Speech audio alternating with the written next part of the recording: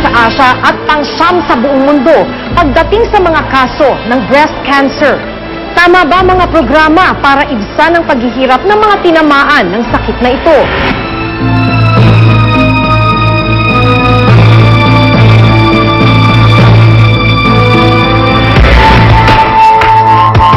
Isa sa bawat walong Pilipina ang nagtataglay nito. Kada taon, mahigit anim na libo ang nagbubuwis ng buhay dahil sa sakit na ito.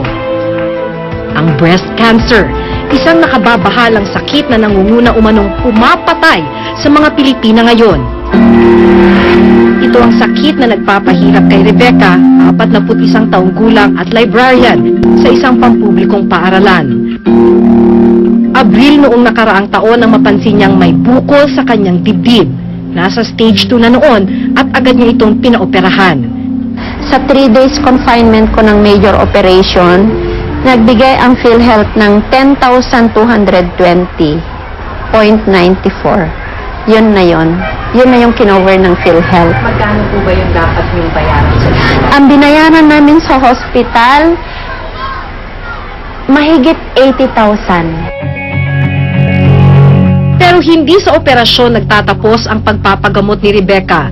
Kinakailangan pa niyang dumaan sa anim na cycle ng chemotherapy at check-up para tuluyang mawala ang cancer cells. Dahil maliit ang sweldo, hindi raw niya kakayanin ang mahabang proseso ng gamutan.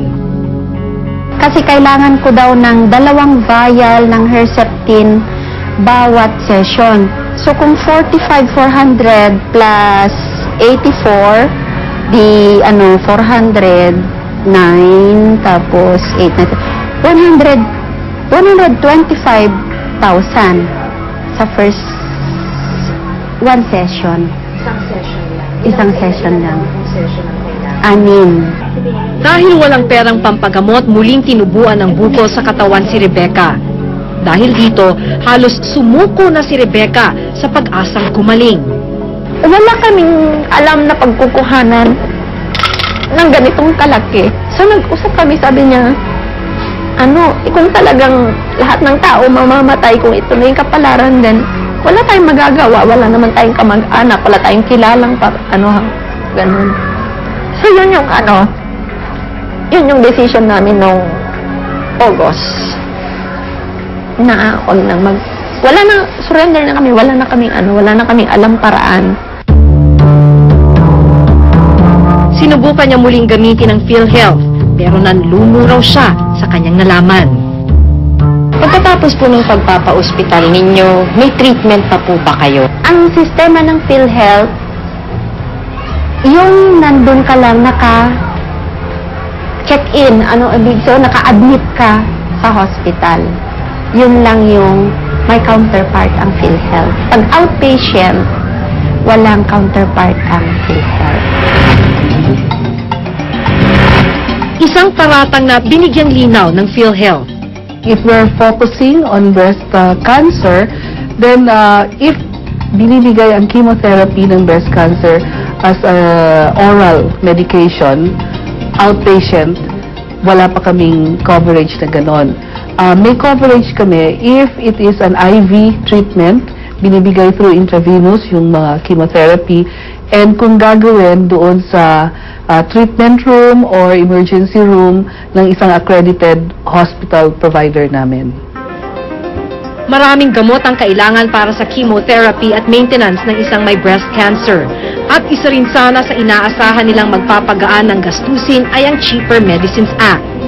Ang Cheaper Medicines Act ay batas na layuning mapababa ang presyo ng mga gamot pero hindi lahat ng gamot na kailangan ng may sakit na breast cancer ay kasama rito. dapat kasama pero inumpisahan mo na yung common na ginagamit.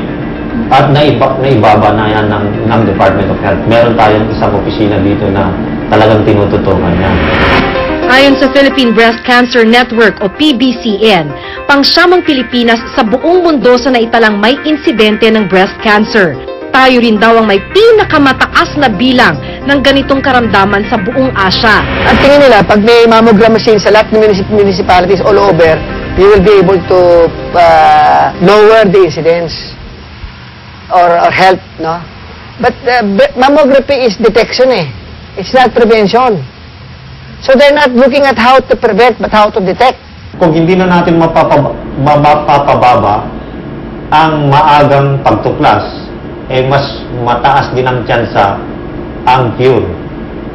Di ba? Ibig sabihin, kung maaga nga mo matuklasan, maliit pa lang, natuklasan mo, tatanggalin lang yun, gumaling ka kaagad. Bukod sa early detection, wala na raw kasunod na tulong na ibinibigay ang Department of Health sa oras na malaman na may breast cancer ang isang babae. Nakita mo may breast cancer, ano next step? Kaya mo bang dalhin lahat yung PGH o bigyan mo ng gamot? What was the point of finding out early na may breast cancer ang tao kung wala ka namang gagawin? Eh di mas frustrating yun.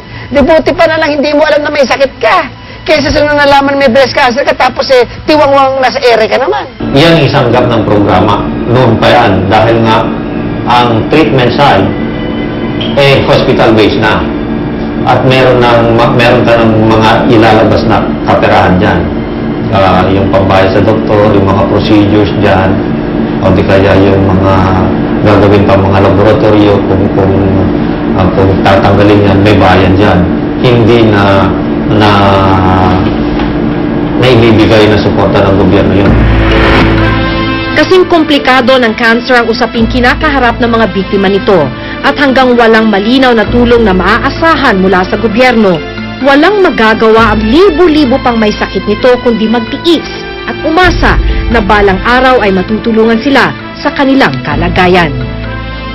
Ako si Maki Pulido at ito ang nakatala sa aking Reporter's Notebook.